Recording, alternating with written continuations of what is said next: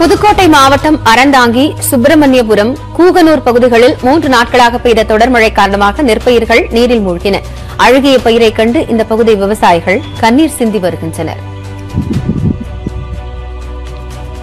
மூணு நாளா மழை பெய்யுது வந்து பார்க்கல. இத வந்து பார்த்து நீங்க என்ன முடிவு எடுக்கணுமோ எங்களுக்கு நீங்க செய்யற உதவிதான். வேற எதுக்குமே எங்க எங்களுக்கு வழி இல்ல. இந்த விவசாயத்தை விட்டா வேற எதுக்குமே எங்களுக்கு இல்ல. இந்த வயிற்றுச்சல நாங்க எதுலயுமே வாங்கின சொசைட்டி கடன் எல்லாம் நாங்க கட்ட எந்த வழியில கட்ட போறோம்னே தெரியல. அரசு கவனம் செலுத்தி சம்பந்தப்பட்ட துறைகளை வந்து உடனடியாக அனுப்பி பார்வையிட்டு எங்களுக்கு விவசாயிகளுக்கு கண்டு தெரியாத விஞ்ஞானிகளாக நாங்கள் விவசாயம் பண்ணிக்கிருக்கோம். எங்களுக்கு வந்து நீங்க வாழ்வாதாரம் எங்க குடும்பத்துகளை காப்பாற்றணும் டெல்டா மாவட்டங்களில் ஏற்பட்டுள்ள பயிர் சேதங்களை இரண்டு அமைச்சர்கள் ஆய்வு செய்து அறிக்கை அளிப்பார்கள் என முதலமைச்சர் மு ஸ்டாலின் தெரிவித்துள்ளார்.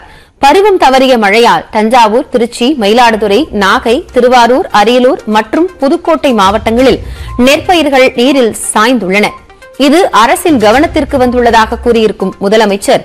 அதை நேரடியாக ஆய்வு செய்ய உழவர் நலத்துறை அமைச்சர் எம் ஆர் கே பன்னீர்செல்வம் மற்றும் உணவுத்துறை அமைச்சர் சக்கரபாணி ஆகியோரை அனுப்பி வைத்துள்ளதாக தெரிவித்துள்ளாா் அவர்களுடன் வேளாண்துறை செயலாளர் மற்றும் இயக்குநர் உள்ளிட்ட மூத்த அதிகாரிகளும் கள ஆய்வு மேற்கொண்டு விவசாயிகளை சந்தித்து விவரங்களை பெறுவார்கள் என்றும் முதலமைச்சர் குறிப்பிட்டுள்ளார். அமைச்சர்கள் மற்றும் அதிகாரிகள் குழுவை வரும் திங்கட்கிழமை சந்தித்து சேத விவரங்களை கேட்டறிந்த பின்னர் பாதிக்கப்பட்ட விவசாயிகளுக்கு பயிர் காப்பீட்டுத் தொகை பெற்றுத் தருவது குறித்தும் இழப்பீடு வழங்குவது குறித்தும் மேல் நடவடிக்கை எடுக்கப்படும் என்றும் முதலமைச்சர் தெரிவித்துள்ளார்.